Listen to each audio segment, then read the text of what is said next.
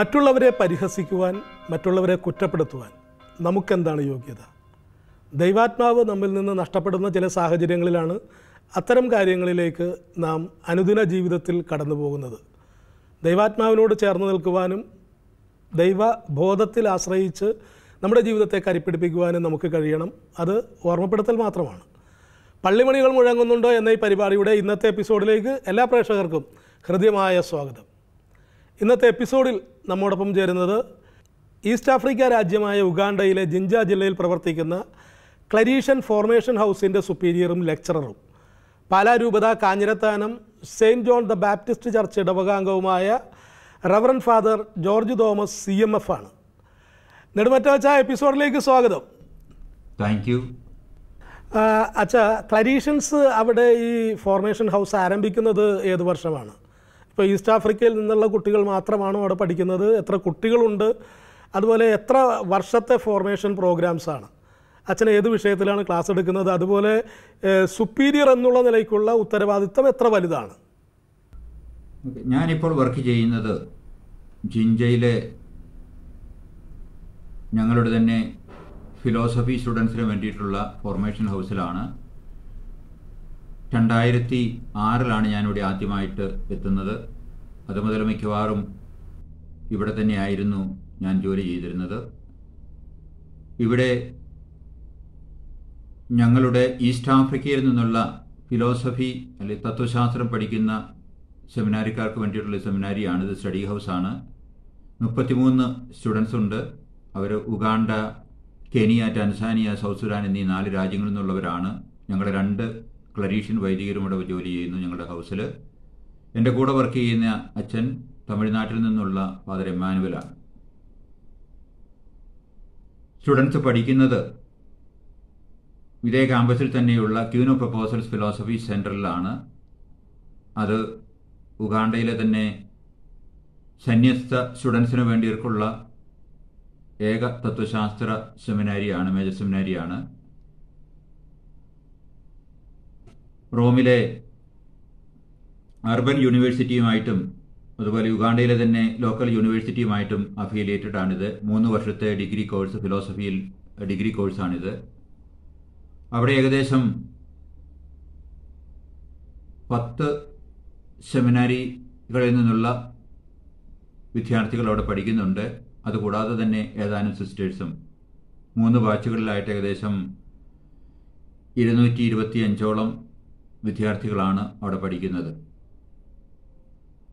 ഞാൻ ഈ ഞങ്ങളുടെ ഫോർമേഷൻ ഹൗസിന്റെ ഫോർമേറ്ററും സുപ്പീരിയറുമായിട്ട് വർക്ക് ചെയ്യുന്നതോടൊപ്പം തന്നെ ഈ ഫിലോസഫി സെന്ററിൽ ക്ലാസ് എടുക്കുന്നുണ്ട് തത്വശാസ്ത്ര വിഷയങ്ങളിൽ ക്ലാസ് എടുക്കുന്നുണ്ട്.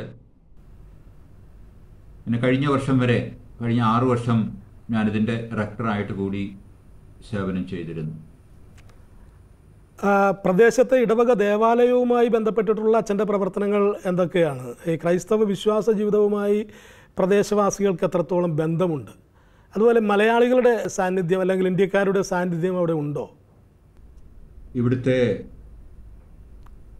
ഇടവക പ്രവർത്തനങ്ങളെ പറ്റിയൊക്കെ പറയുകയാണെങ്കിൽ ഞങ്ങളുടെ ഈ സെമിനാരി സ്ഥിതി ചെയ്യുന്നത് ഇവിടുത്തെ കത്തീഡ്രലിന്റെ അടുത്ത് തന്നെയാണ് ബിഷപ്പ് ഹൗസും തൊട്ടടുത്ത് തന്നെയാണ്. ഈ കത്തീഡ്രലിന്റെ കീഴിൽ തന്നെ വളരെയധികം സബ്സ്റ്റേഷൻസ് ഉണ്ട്. ഇവിടെ വേറെ പല സെമിനാരികളുള്ളതുകൊണ്ട് അവരൊക്കെ ഈ ഓരോ സബ്സ്റ്റേഷനിൽ പോയി ഹെൽപ്പ് ചെയ്യുന്നുണ്ട്. ഞാൻ സാധാരണ ഞായറാഴ്ചകളിൽ ഇവിടെ നിന്ന് ഇരുപത് കിലോമീറ്റർ ദൂരെയുള്ള മറ്റൊരു ഇടവകയുടെ കീഴിലുള്ള ഒരു സെന്ററിൽ പോയി കുർബാനയും മറ്റ് ഉദാശകളുമൊക്കെ അനുഷ്ഠിക്കാറുണ്ട്.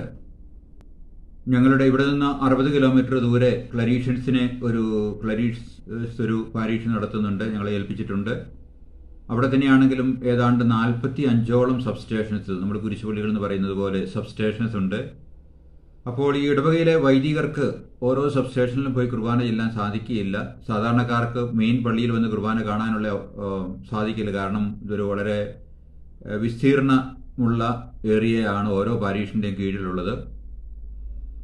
അപ്പം അതുകൊണ്ട് ഇവിടുത്തെ കാറ്റക്കിസ്റ്റാണ് പല സ്ഥലങ്ങളിലും സൺഡേ സർവീസുകൾ നടത്തുന്ന കുർബാനയ്ക്ക് പകരമായിട്ട് അതുപോലെ തന്നെ സെമിനാരിക്കാരും പലയിടത്തും പോയി സഹായിക്കാറുണ്ട്. എന്നാൽ ദൂരെയുള്ള സ്ഥലങ്ങളിൽ വൈദികർ കുറവുള്ള സ്ഥലത്ത് കാറ്റക്കിസ്റ്റാണ് പല സ്ഥലങ്ങളിലും ആളുകളുടെ ആധ്യാത്മിക കാര്യങ്ങൾ പലതും ചെയ്തു കൊടുക്കുന്നത്. ഉഗാണ്ടയിൽ നാല് എക്ലസിയാസ്റ്റിക്കൽ പ്രോവിൻസുകളായിട്ട് പതിനഞ്ച് കത്തോലിക്ക രൂപതകളാണുള്ളത്. ആംഗ്ലിക്കൻസിനും ഏതാണ്ട് അതുപോലെ തന്നെയുണ്ട്.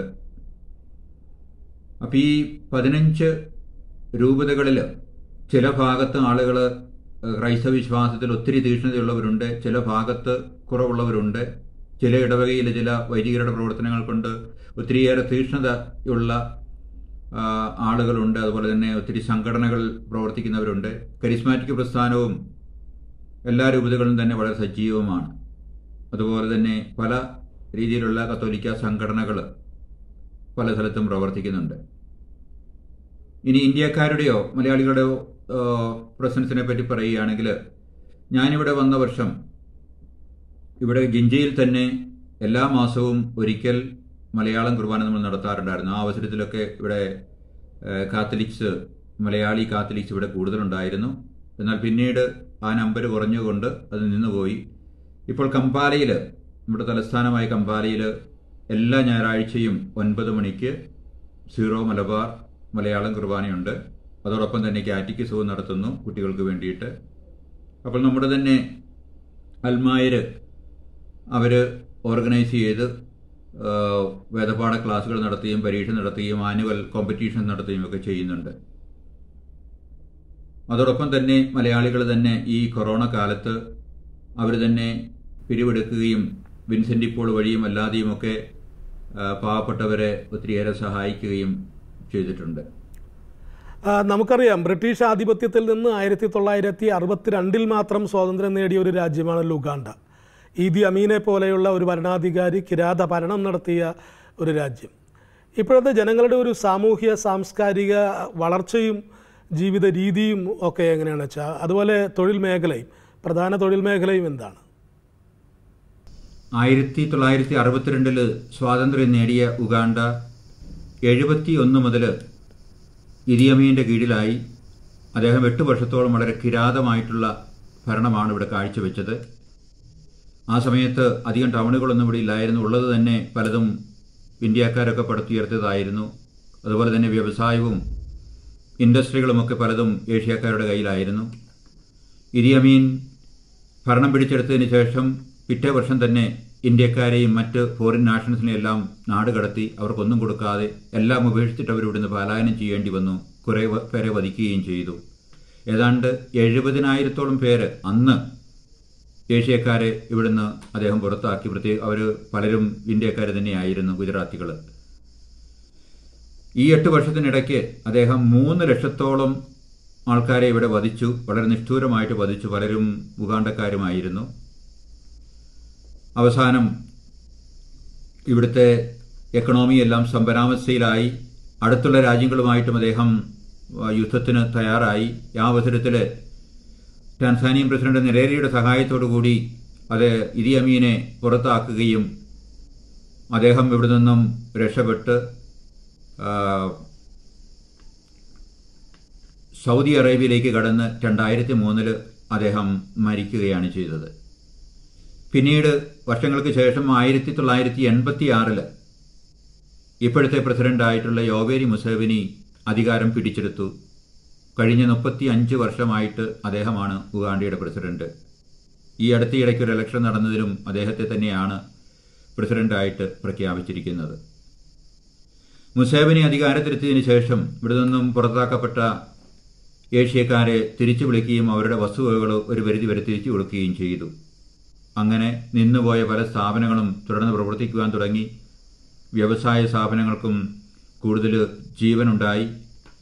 സാവധാനം ഉഗാണ്ട പുരോഗതിയുടെ പാതയിലേക്ക് നീങ്ങി റോഡ് സൗകര്യങ്ങളും വാർത്താവിനിമയ സൗകര്യങ്ങളും ആതുരാലയങ്ങളും ആശുപത്രികളുമൊക്കെ കൂടുതലായിട്ടുണ്ടാകുവാൻ തുടങ്ങി. പ്രത്യേകിച്ചും ക്രിസ്ത്യൻ മിഷണറിമാരുടെ സംഭാവനകൾ ഈ തരുണത്തിൽ നാം ഓർക്കേണ്ടതാണ്. സ്കൂളുകളും ആതുരാലയങ്ങളും കെട്ടിപ്പടുക്കുന്നതിൽ നമ്മുടെ ക്രിസ്ത്യൻ മിഷണറിമാരാണ് ഏറ്റവും കൂടുതൽ ശ്രദ്ധ ചെലുത്തിയത്.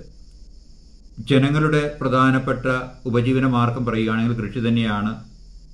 Vast majority of the people are farmers ഇവിടെ എല്ലാത്തരം കൃഷികളും തന്നെയുണ്ട്. ചോളവും ഒരുതരം വാഴയ്ക്ക മട്ടോക്ക എന്ന് പറയപ്പെടുന്ന ഒരു വാഴയ്ക്കയും മില്ലറ്റും നെല്ലും ഒക്കെ ഇവിടെ കൃഷി ചെയ്യപ്പെടുന്നുണ്ട്. അതുപോലെ തന്നെ ഈ പ്രദേശത്ത് ഒത്തിരിയേറെ ഷുഗർ കെയിൻ ഫീൽഡുകളുണ്ട് ഷുഗർ കെയിൻ ഫാക്ടറികളുമുണ്ട് പഞ്ചസാര ഉൽപ്പാദിപ്പിക്കുവാൻ വേണ്ടിയിട്ട് അത് എക്സ്പോർട്ട് ചെയ്യുന്നുമുണ്ട്. ഈ അടുത്തയിടെ ഉഗാണ്ട ഓയിൽ കണ്ടുപിടിച്ചിട്ടുണ്ട്. അതിന്റെ എക്സ്കവേഷനൊക്കെ നടന്നുകൊണ്ടിരിക്കുന്നതേ ഉള്ളൂ. ഉഗാണ്ട വളർച്ചയുടെ പാതയിലാണെങ്കിലും ഇവിടെ ഒരു ഭരണമാറ്റം ഉടനെയൊന്നും നടക്കുന്ന ലക്ഷണം കാണുന്നില്ല. അതുമാത്രമല്ല ഉഗാണ്ടയുടെ സ്വത്തിന്റെ നല്ലൊരു ശതമാനം ഒരു കുറച്ച് ആൾക്കാരുടെ കയ്യിലാണ്. ഇവിടെ ജനങ്ങൾക്കൊത്തിരി ബുദ്ധിമുട്ടുകളുണ്ട്. വില്ലേജുകളിൽ എങ്കിലും ഇവർ സന്തോഷവാന്മാരായിട്ട് പൊതുവെ കാണപ്പെടുന്നത് എന്ന് പറയേണ്ടിയിരിക്കുന്നു. ഈ വർഷത്തെ വേൾഡ് ഹാപ്പിനെസ് ഇൻഡെക്സിൽ പരിശോധിക്കുകയാണെങ്കിൽ ഉഗാണ്ടയുടെ സ്ഥാനം നൂറ്റി പന്ത്രണ്ടാണെങ്കിൽ ഇന്ത്യയുടെ സ്ഥാനം നൂറ്റി നാൽപ്പത് മാത്രമാണ്. അതുകൊണ്ട് ഇന്ത്യക്കാരേക്കാൾ സന്തോഷവാന്മാരാണ് ആഫ്രിക്കക്കാർ പ്രത്യേകിച്ച് ഉഗാണ്ടക്കാർ എന്ന് എനിക്ക് തോന്നുന്നു. ജനസംഖ്യ വളരെ കൂടുതലുള്ള രാജ്യമാണ് ഉഗാണ്ട എന്നാണ് അറിവ്. അതുപോലെ ബഹുഭാരിത്വം വളരെ കൂടുതലാണെന്ന് കേൾക്കുന്നുണ്ട്. ഇത് കുടുംബ ബന്ധങ്ങളിൽ പ്രശ്നങ്ങൾ ഉണ്ടാക്കാറില്ലേ? ഈ ക്രൈസ്തവ വിശ്വാസ ജീവിതത്തിൽ ഇത് എത്രത്തോളം പ്രശ്നങ്ങൾ സൃഷ്ടിക്കാറുണ്ട്? അതുപോലെ തന്നെ ക്രൈസ്തവ സഭാവീക്ഷണം എങ്ങനെയാണ് ഇക്കാര്യത്തിൽ? ഉഗാണ്ട ഒരു ചെറിയ രാജ്യമാണ്. ആഫ്രിക്കൻ രാജ്യങ്ങളിൽ വെച്ചൊരു ചെറിയ രാജ്യമാണ്. നമ്മുടെ ഇന്ത്യയിലെ ഒരു ചെറിയ സ്റ്റേറ്റിന്റെ വലിപ്പേ ഉള്ളൂ. എന്നാൽ ഇവിടുത്തെ ജനസംഖ്യ ഏതാണ്ട് നാൽപ്പത്തി മൂന്ന് മില്യന് മുകളിലാണ്. ലോകത്തിലെ തന്നെ ഏറ്റവും കുട്ടികൾ കൂടുതലുള്ള പെർസെന്റേജ് അനുസരിച്ച് കുട്ടികൾ കൂടുതലുള്ള ഒരു രാജ്യമാണ് ഉഗാണ്ട. കാരണം കണക്കുകൾ അനുസരിച്ച് നാൽപ്പത്തിയെട്ട് ശതമാനത്തോളം ആളുകൾ ഇവിടെ പതിനഞ്ച് വയസ്സിന് താഴെയുള്ളവരാണ് എന്നാണ് പറയുന്നത്. അതുകൂടാതെ നാൽപ്പത്തിയഞ്ച് വയസ്സിന് മുകളിലുള്ളവർ ഏതാണ്ട് പത്ത് ശതമാനത്തോളമേ ഉള്ളൂ. അപ്പം അതുകൊണ്ട് എഡ്യൂക്കേഷനും മറ്റും കുട്ടികളുടെ വളർച്ചയ്ക്കും അവരുടെ എഡ്യൂക്കേഷനൊക്കെ വേണ്ടിയിട്ട് ഒത്തിരിയേറെ പണം ചെലവഴിക്കേണ്ടിയിരിക്കുന്നു. കുടുംബ ജീവിതത്തെ പറ്റി ചോദിച്ചിരുന്നല്ലോ. ഇവിടെ ബഹുഭാര്യത്വം ഇപ്പോഴും നിലവിലുണ്ട്. വളരെയധികം പേർക്ക് ഒന്നിലധികം ഭാര്യമാരുള്ളവരുണ്ട്. പണ്ടൊക്കെ ഇതിലും കൂടുതലുണ്ടായിരുന്നു. കൂടുതൽ ഭാര്യമാരുള്ളത് സൊസൈറ്റിയിൽ ഒരു ക്രെഡിറ്റ് ആയിട്ടാണ് അവർ കരുതിയിരുന്നത്. കൂടുതൽ സ്വത്തുള്ളവർക്ക് കൂടുതൽ ഭാര്യമാരെ സ്വീകരിക്കുവാൻ സാധിക്കുമായിരുന്നു. ഇവിടെ പള്ളിയിലെ വിവാഹത്തിനൊക്കെ വരുന്നവർ വളരെ ചുരുക്കമാണ്. പല കാരണങ്ങൾ കൊണ്ട് കാരണങ്ങളുണ്ട് അതിന്റെ പിന്നിൽ ഇവൾ ഇവർ ഒരുമിച്ച് താമസിച്ച് കുട്ടികളുമൊക്കെ ആയിട്ടാണ് പലരും വിവാഹത്തിന് വരുന്നത്. ചിലർ റിട്ടയർമെന്റ് ഏജ് ഒക്കെ ആയതിനു ശേഷം ഒഫീഷ്യലായിട്ട് പള്ളിയിൽ വിവാഹം കഴിക്കുന്നവരുണ്ട്. കാരണം ശവാടക്കിനൊക്കെ അച്ഛന്മാർ വരണം വരണമെന്നുണ്ടെങ്കിൽ അവർ പള്ളിയിൽ വിവാഹം കഴിച്ചവരായിരിക്കണം. ഇങ്ങനെ ഉള്ള ഈ ബഹുഭാര്യത്വം അല്ലെങ്കിൽ പോളിഗമി ലൈഫ് ഉള്ളത് പലതരത്തിലെ കുടുംബ ബന്ധങ്ങളെയും മറ്റ് പല കാര്യങ്ങളെയും ബാധിക്കാറുണ്ട് എന്നുള്ളതാണ് സത്യം. ഇത് കുടുംബ ബന്ധങ്ങളെ ബാധിക്കുന്നതോടൊപ്പം തന്നെ അവരുടെ വിശ്വാസ ജീവിതത്തെയും മോറൽ ലൈഫിനെയും കുട്ടികളുടെ സ്വഭാവ രൂപീകരണത്തെയും ഒക്കെ വളരെ പ്രതികൂലമായിട്ട് ബാധിക്കും എന്ന് നമുക്കറിയാം. എന്നാൽ പുതിയ തലമുറയിൽപ്പെട്ടവർ ബഹുഭാരിത്യം സ്വീകരിക്കുന്നവർ കുറവാണ് എന്നുള്ളത് സന്തോഷകരമായിട്ടുള്ള ഒരു കാര്യമാണ്. അച്ഛന്റെ കുടുംബത്തെക്കുറിച്ചും ദൈവവിളി ഉണ്ടാകാനുള്ള പ്രചോദനത്തെക്കുറിച്ചും കൂടി ഒന്ന് പറയാമോ? ഞാൻ എന്റെ കുടുംബത്തിലെ മൂന്ന് മക്കളിൽ മൂത്തയാളായിരുന്നു. എനിക്ക് ഒരു സഹോദരനും ഒരു സഹോദരിയുമാണുള്ളത്. നേരെ ഇളയത് എന്റെ സഹോദരി മോളി. അവൾ കുറച്ചുനാൾ വിദേശത്ത് നേഴ്സായിട്ട് ജോലി ചെയ്തതിന് ശേഷം ഇപ്പോൾ ഇലഞ്ഞി കണിച്ചുകാട്ട് കുടുംബത്തിൽ ഭർത്താവിനോടും മക്കളോടും ഒപ്പം ജീവിക്കുന്നു. പിന്നെ അനിയൻ രാജു. അവൻ മാതാപിതാക്കളോടൊപ്പം വീട്ടിൽ തന്നെ വീട്ടുകാര്യങ്ങളുമൊക്കെ ആയിട്ട് കഴിയുന്നു. ചെറുപ്പകാലത്ത് കെ സി വൈമിന്റെ വലിയ സജീവ പ്രവർത്തകനായിരുന്നു. വിഭാഗത്തിന് ശേഷം ഇപ്പോൾ കത്തോലിക്ക കോൺഗ്രസ്സിൽ വളരെ ആക്റ്റീവായിട്ട് പ്രവർത്തിക്കുന്നു. ഇപ്പോൾ ഭർവനാതലത്തിലെ സെക്രട്ടറി കൂടിയാണ്. പിന്നെ എന്റെ മാതാപിതാക്കൾ എൺപത്തിനാല് വയസ്സ് കഴിഞ്ഞു. രണ്ടുപേരും വലിയ സീരിയസ് ആയിട്ടുള്ള ആരോഗ്യ പ്രശ്നങ്ങളൊന്നും ഇല്ലാതെ വീട്ടിൽ തന്നെ കഴിയുന്നു. അവർ വലിയ ഭക്തിയുള്ള ആൾക്കാരായിരുന്നു ഭക്തി തീക്ഷ്ണതയുള്ള ആൾക്കാരായിരുന്നു. അതോടൊപ്പം തന്നെ എന്റെ ഗ്രാൻഡ് മദർ എന്റെ വല്യമ്മച്ചി എന്റെ പട്ടം കഴിയുന്നിടം വരെ എന്റെ തൊണ്ണൂറ്റാറ് വയസ്സോളം ഞങ്ങളോടൊപ്പം ഉണ്ടായിരുന്നു. ഇതൊക്കെ എന്റെ ദൈവവിളിയെ ഒത്തിരി പോസിറ്റീവായിട്ട് സ്വാധീനിച്ചിട്ടുള്ള ഘടകമാ ഘടകങ്ങളാണ്. അതോടൊപ്പം തന്നെ എന്റെ ചാച്ചന്റെ ജ്യേഷ്ഠൻ ഫാദർ മാണി നെടുമറ്റം ഒരു ജസ്യൂട്ട് വൈദികനാണ്. അദ്ദേഹം നോർത്ത് ഇന്ത്യയിൽ വർക്ക് ചെയ്യുന്നു. അമ്മച്ചിയുടെ അനിയത്തി സിസ്റ്റർ ഫൗസ്ത ആന്ധ്രയിൽ നിർമ്മല സിസ്റ്റേഴ്സിൽ വർഷങ്ങളായിട്ട് ഡോക്ടറായിട്ട് ജോലി ചെയ്യുന്നു. വേറെ എന്റെ കുടുംബത്തിൽ തന്നെ എന്റെ ഫസ്റ്റ് കസിൻസ് ആയിട്ട് പലരും പല മിഷനറി ആയാലും വർക്ക് ചെയ്യുന്നുണ്ട്. ഇവരെല്ലാം എന്റെ ജീവിതത്തെ വളരെ പോസിറ്റീവായിട്ട് സ്വാധീനിച്ചവരാണ്. മറ്റൊരു കാരണം ഞാൻ എന്റെ സ്കൂൾ പഠനകാലത്ത് മിഷൻ ലീഗിൽ പ്രവർത്തിച്ചു എന്നുള്ളതാണ്. എല്ലാ ദിവസവും തന്നെ മിഷന് വേണ്ടിയും മിഷണറിമാർക്ക് വേണ്ടിയിട്ടുമൊക്കെ പ്രാർത്ഥിക്കാറുണ്ടായിരുന്നു. അങ്ങനെ മിഷൻ ലീഗിന്റെ അംഗമായതുകൊണ്ട് മറ്റൊരു കാരണം ഞങ്ങളുടെ ഇടവക തന്നെയാണ്. ഞങ്ങളുടെ ഇടവക കാഞ്ഞിരസ്ഥാനം ഇടവകയിൽ നിന്ന് തന്നെ ഒത്തിരിയേറെ മിഷണറി വൈദികരും മിഷണറി സിസ്റ്റേഴ്സും ഉണ്ടായിരുന്നു. ഞാൻ കാഞ്ഞിരത്താനം ഇടവകയിൽ നിന്നുള്ള മുപ്പത്തി എട്ടാമത്തെ വൈദികനാണ്. അപ്പോൾ ചില മിഷണറി വൈദികർ നോർത്ത് ഇന്ത്യയിൽ നിന്നും മറ്റുമൊക്കെ വരുമ്പോൾ ഞങ്ങളെ മിഷനെ പറ്റി സ്ലൈഡ് കാണിക്കുകയും മിഷനെ പറ്റി സംസാരിക്കുകയും ഒക്കെ ചെയ്യുമായിരുന്നു. ഇവയെല്ലാം എന്റെ ദൈവവിളിയെ വളരെ പോസിറ്റീവായിട്ട് സ്വാധീനിച്ചിട്ടുള്ള ഘടകങ്ങളാണ്. പിന്നെ ക്ലരീഷ്യൻ സഭയിൽ ചേരുവാനുള്ള ഒരു കാരണം ക്ലരീഷ്യൻ സഭയുടെ ആദ്യത്തെ ഹൗസർ മൈനഡ് സെമിനാരി ആണ് അത് കുറവിലങ്ങാട്ട് എന്റെ വീട്ടിൽ നിന്നും വെറും നാലഞ്ച് കിലോമീറ്റർ മാത്രം ദൂരെയാണ്. അതിൽ ഞാൻ അഭിമാനിക്കുകയും ചെയ്യുന്നു. ഇതുവരെ ലഭിച്ചിട്ടുള്ള ഔദ്യോഗിക സ്ഥാനങ്ങൾ ഏതെല്ലാമാണ്? ഏതെല്ലാം ദേശങ്ങളിലാണ്? ഞാൻ ഇന്ന് വരെ വഹിച്ചിട്ടുള്ള സ്ഥാനങ്ങളെ പറ്റി പറഞ്ഞു കഴിഞ്ഞാൽ ഞാനിങ്ങനെ വലിയ സ്ഥാനങ്ങളൊന്നും ഇതുവരെ അലങ്കരിച്ചിട്ടില്ല. എന്റെ ജോലി പ്രധാനമായിട്ടും സന്യാസ പരിശീലന രംഗത്തായിരുന്നു. ഒല്ലൂരിലും ബൽഗാമിലുമായിട്ട് ഒൻപത് വർഷം ഞാൻ ഇന്ത്യയിൽ പട്ടത്തിന് ശേഷം ചെലവഴിച്ചു. പിന്നീട് ഏതാണ്ട് ഇരുപത്തിരണ്ട് വർഷത്തോളം ഈസ്റ്റ് ആഫ്രിക്കയിലാണ് ഞാൻ ജോലി ചെയ്തത്. ഈസ്റ്റ് ആഫ്രിക്കയിലും അഞ്ച് വർഷം ഞാൻ ടാൻസാനിയയിൽ ജോലി ചെയ്തു. ബാക്കി ഉഗാണ്ടയിലായിരുന്നു. ഈ ഹൗസുകളിലൊക്കെ ഫോർമേറ്ററായിട്ടും അവിടുത്തെ ഹൗസിന്റെ സുപ്പീരിയറായിട്ടുമൊക്കെയാണ് പ്രധാനമായിട്ട് ഞാൻ ജോലി ചെയ്തത്. അതുകൂടാതെ ടാൻസാനിയയിലായിരുന്ന അവസരത്തിൽ അവിടുത്തെ ഫിലോസഫി ഇൻസ്റ്റിറ്റ്യൂട്ടിൽ ലെക്ചററായിട്ട് ജോലി ചെയ്തു. അതുപോലെ തന്നെ ഇവിടെ ഉഗാണ്ടയിൽ ജിഞ്ചിയിലെ ക്യൂനോ പ്രപ്പോസൽസ് ഫിലോസഫി സെന്ററിൽ അവിടെയും ലെക്ചററായിട്ട് ജോലി ചെയ്തു. കൂടാതെ കഴിഞ്ഞ ആറു വർഷം ആ ഇൻസ്റ്റിറ്റ്യൂട്ടിന്റെ ക്യൂൻ ഓഫ് ഫിലോസഫി സെന്ററിന്റെ റെക്ടറായിട്ട് ഞാൻ സേവനം ചെയ്തു. ഈ കഴിഞ്ഞ വർഷം അവസാനമാണ് ആ ഉത്തരവാദിത്വം മറ്റൊരാളെ ഏൽപ്പിച്ചത്.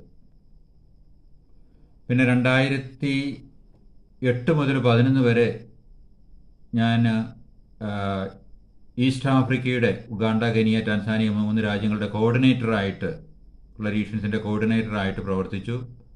ആ അവസരത്തിലായിരുന്നു രണ്ടായിരത്തി ഒൻപതിൽ റോമിൽ നടന്ന ജനറൽ ചാപ്റ്ററിൽ പങ്കെടുക്കുവാൻ സാധിച്ചു. അങ്ങനെ ഞങ്ങളുടെ അറുപത്തഞ്ച് രാജ്യങ്ങളിൽ ജോലി ചെയ്യുന്ന ക്ലരീഷ്യൻ സുപ്പീരിയേഴ്സിനോടൊപ്പം ഏതാണ്ട് അഞ്ചാഴ്ചയോളം ചെലവഴിക്കാൻ സാധിച്ചതുകൊണ്ട് ഞങ്ങളുടെ ഒരു കോൺഗ്രിഗേഷനെ പറ്റിയും പുറത്തുള്ള മറ്റ് രാജ്യങ്ങളിൽ നടക്കുന്ന ഞങ്ങളുടെ പ്രവർത്തനങ്ങളെ പറ്റിയും ഒക്കെ കൂടുതൽ അടുത്തറിയുവാൻ സാധിച്ചു. ഇതിനു പുറമെ കമ്പാലിയിലെ ഇസ്പാറ്റ് യൂണിവേഴ്സിറ്റിയിൽ അവിടുത്തെ ഗവേണിംഗ് കൗൺസിലിന്റെ ചെയർമാനായിട്ട് കുറേ വർഷങ്ങളായിട്ട് സഹകരിച്ച് പ്രവർത്തിക്കുന്നു.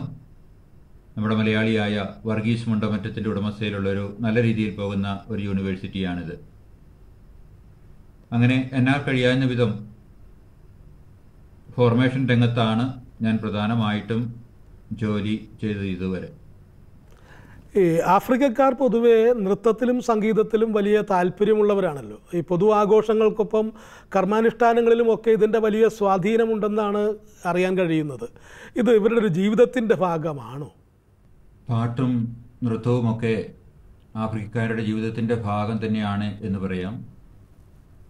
മറ്റു പല രാജ്യങ്ങളെ അപേക്ഷിച്ച് ആഫ്രിക്കയിൽ ഒത്തിരിയേറെ ആഘോഷങ്ങളും പാട്ടും നൃത്തവുമൊക്കെ അവിടെ എല്ലാ പ്രോഗ്രാമിനും തന്നെ ഉണ്ട് എന്ന് പറയാം. അത് കല്യാണമായാലും പള്ളിയിലെ മറ്റ് ചടങ്ങുകളായാലും അവിടെയെല്ലാം പാട്ടിനോടൊപ്പം തന്നെ ഡാൻസും ഉണ്ടാവും. ലിറ്റർജിക്കൽ ഡാൻസ് ആഫ്രിക്കൻ കുർബാനയുടെ മറ്റൊരു പ്രധാന ഭാഗമാണ്. അതുപോലെ തന്നെ കൊച്ചുകുട്ടികൾ വരെ ചെറുപ്പം മുതൽ തന്നെ അവർ ആടുകയും പാടുകയും ഒക്കെ ചെയ്യുന്നു. അതിലവർക്ക് വലിയ സ്റ്റേജ് ഫിയർ ഒന്നുമില്ല. വീടുകളിലാണെങ്കിലും എന്ത് ആഘോഷമാണെങ്കിലും അവർ ഡാൻസ് ചെയ്യുന്ന പതിവുണ്ട്. അതുകൊണ്ട് ഡാൻസും പാട്ടും അങ്ങനെയുള്ള ആഘോഷങ്ങളും എല്ലാം ഉള്ളതുകൊണ്ടായിരിക്കാം ഒരുപക്ഷെ ആഫ്രിക്കക്കാരെ പൊതുവെ സന്തോഷവാന്മാരും സന്തോഷവതികളുമായിട്ട് കാണപ്പെടുന്നതും. അച്ഛാ ക്ലരീഷ്യൻസ് അല്ലാതെ മറ്റേതെല്ലാം കോൺഗ്രിയേഷനാണ് ഇപ്പോൾ അവിടെ പ്രവർത്തിക്കുന്നത്? നമ്മുടെ നാട്ടിൽ സന്യസ്തരുടെ സേവനവും ഒക്കെ അവിടെ ലഭിക്കുന്നുണ്ടോ? ഇവിടുത്തെ സന്യാസ കേരളത്തിൽ നിന്നുള്ള അല്ലെങ്കിൽ ഇന്ത്യയിൽ നിന്നുള്ള സന്യസ്തരെ പറ്റി പറയുകയാണെങ്കിൽ മിഷണറിമാരെ പറ്റി പറയുകയാണെങ്കിൽ കേരളത്തിൽ നിന്നുള്ള ഏതാണ്ട് ഇരുപത്തിനാല് ഇരുപത്തിയഞ്ചോ മിഷണറി വൈദികർ ഇവിടെ ജോലി ചെയ്യുന്നുണ്ട്. വിൻസെൻഷൻസ് തന്നെ അഞ്ച് ഹൗസുകളിലായിട്ട് ഒൻപതോ പത്തോ പേര് ജോലി ചെയ്യുന്നുണ്ട്. അതുകൂടാതെ ക്ലരീഷ്യൻസ് ഉണ്ട് M S F S fathers ഉണ്ട് കമലിയൻസ് ഉണ്ട് ഒരു ജസ്യൂട്ട് ഫാദർ ഉണ്ട്. സി എം ഐ അച്ഛന്മാരും ഈ കഴിഞ്ഞ വർഷം ഇവിടെ ഒരു പുതിയ ഹൗസ് ആരംഭിച്ച് ഇവിടെ അവരുടെ പ്രവർത്തനം തുടങ്ങിയിട്ടുണ്ട്. വിമൻ റിലീജിയസ് ആണെങ്കിൽ ഇന്ത്യയിൽ നിന്നുള്ളവരിൽ ഏറ്റവും കൂടുതലുള്ളത് Saint Joseph of Tarbes sisters ആണെന്ന് തോന്നുന്നു. അവർ പതിനഞ്ച് പതിനാറ് പേര് ഇവിടെ ഇന്ത്യയിൽ നിന്ന് വർക്ക് ചെയ്യുന്നുണ്ട്. അതുകൂടാതെ Queen of the Apostle sisters ഉണ്ട് മദർ തെരേസ സിസ്റ്റേഴ്സ് ഉണ്ട് ഹോളി ക്രോസ് സിസ്റ്റേഴ്സ് ഉണ്ട് F I H M sisters ഉണ്ട്. അങ്ങനെ പല കോൺഗ്രിഗേഷനിൽപ്പെട്ട ഇന്ത്യക്കാരായിട്ടുള്ള സിസ്റ്റേഴ്സ് ഇവിടെ വർക്ക് ചെയ്യുന്നുണ്ട്. നമ്മുടെ നാട്ടിൽ നിന്നുള്ള അഡറേഷൻ സിസ്റ്റേഴ്സും ഈ അടുത്തിടെ ഇവിടെ വന്ന് പ്രവർത്തനം ആരംഭിച്ചിട്ടുണ്ട്. അവർക്ക് ഇവിടെ മൂന്ന് മഠങ്ങൾ ഉണ്ട്. ഇവർ ഓരോരുത്തരും തങ്ങളുടെ വിളിക്കനുസരിച്ച് വിദ്യാഭ്യാസ രംഗത്തോ ആതുര സേവന രംഗത്തോ സന്യാസ പരിശീലന രംഗത്തോ ഒക്കെ ആയിട്ട് അവരാൾ കഴിയുന്ന രീതിയിൽ ഇവിടുത്തെ സഭയ്ക്ക് വേണ്ടിയിട്ടും ഇവിടുത്തെ ജനങ്ങൾക്ക് വേണ്ടിയിട്ടും പ്രവർത്തിക്കുന്നു. അച്ഛാ നമ്മുടെ എപ്പിസോഡ് അവസാനിപ്പിക്കേണ്ട ഒരു സമയമായി വരുന്നു. അച്ഛനെ കണ്ടുകൊണ്ടിരിക്കുന്ന പ്രേക്ഷകരോട് ഏറ്റവും അവസാനമായി ഒരു വാക്കിൽ ഒരു സന്ദേശം. ആഫ്രിക്കയിലെ എന്റെ പത്ത് ഇരുപത്തിരണ്ട് വർഷത്തെ അനുഭവത്തിൽ ഒന്ന് രണ്ട് കാര്യങ്ങൾ നിങ്ങളുമായിട്ട് പങ്കുവയ്ക്കട്ടെ ഈസ്റ്റ് ആഫ്രിക്കയിൽ പ്രത്യേകിച്ച് ഉഗാണ്ടയിൽ മതപരമായിട്ട് യാതൊരു പ്രശ്നങ്ങളുമില്ല. എല്ലാ റിലീജിയ മതവിഭാഗങ്ങളും തമ്മിൽ വളരെ സ്നേഹത്തിലും ഐക്യത്തിലുമാണ് മുന്നോട്ട് പോകുന്നത്. നൈജീരിയയിലും ബുർക്കിനോ തുടങ്ങിയ രാജ്യങ്ങളിലുമൊക്കെ ഒത്തിരിയേറെ മതപരമായ പ്രോസിക്യൂഷൻസ് നടക്കുന്നുണ്ടെങ്കിലും നമ്മുടെ ഇന്ത്യയിൽ പോലും മതപരമായിട്ട് ഒത്തിരിയേറെ പ്രശ്നങ്ങൾ നടക്കുന്നുണ്ട് എന്ന് നമുക്ക് അറിയാം. ഇതൊരു വളരെ നല്ല കാര്യമാണ് ഈസ്റ്റ് ആഫ്രിക്കയിൽ എനിക്ക് അനുഭവിക്കാൻ കഴിഞ്ഞത്. രണ്ടാമത്തെ നല്ല കാര്യം ഇവിടെ നിന്ന് ഞാൻ പഠിച്ചത് ജനങ്ങളുടെ കൂട്ടായ പ്രവർത്തനമാണ്. ഇവർക്കൊരു കമ്മ്യൂണിറ്റി ഫീലിംഗ് ഉണ്ട്.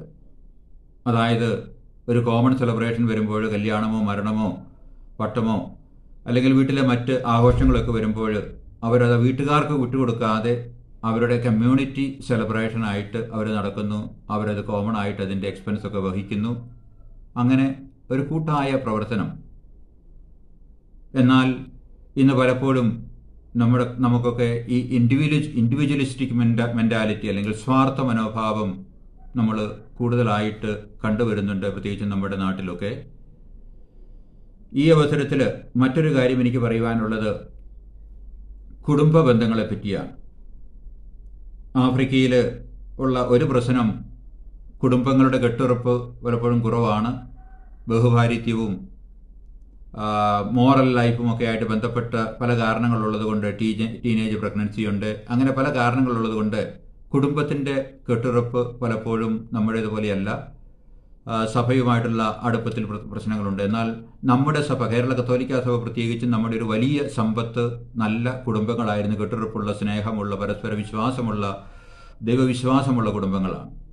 എന്നാൽ ഇന്ന് പല കാരണങ്ങളാലും ജോലിയുടെ പേരിലും മറ്റും അംഗങ്ങൾ താമസി ദൂരെ താമസിക്കുന്നുണ്ടോ എന്തോ ആ കട്ട് കെട്ടുറപ്പിനും സ്നേഹത്തിനും ദൈവവിശ്വാസത്തിനുമൊക്കെ കുറവ് സംഭവിച്ചിട്ട് സംഭവിച്ചുകൊണ്ടിരിക്കുകയാണോ എന്ന് സംശയം തോന്നിപ്പോകുന്നു. അതുപോലെ തന്നെ വർഗീയ ശക്തികൾ ശക്തി പ്രാപിച്ചുകൊണ്ടിരിക്കുന്ന ഈ അവസരത്തിൽ വിഘടിത മനോഭാവങ്ങൾ കൂടിക്കൂടി വരുന്ന ഈ അവസരത്തിൽ എല്ലാവരെയും ചേർത്ത് പിടിക്കുവാനും സഹകരണ മനോഭാവത്തോടും സ്നേഹത്തോടും കൂടി ഒന്നിച്ച് പ്രവർത്തിക്കുവാനും നമുക്ക് സാധിക്കട്ടെ. എങ്കിൽ മാത്രമേ നമുക്ക് പുരോഗതി കൈവരിക്കുവാൻ സാധിക്കുകയുള്ളൂ. സഭ എന്നുള്ള നിലയിൽ നമുക്ക് നമ്മുടെ ദൗത്യം നിർവഹിക്കുവാൻ സാധിക്കുകയുള്ളൂ.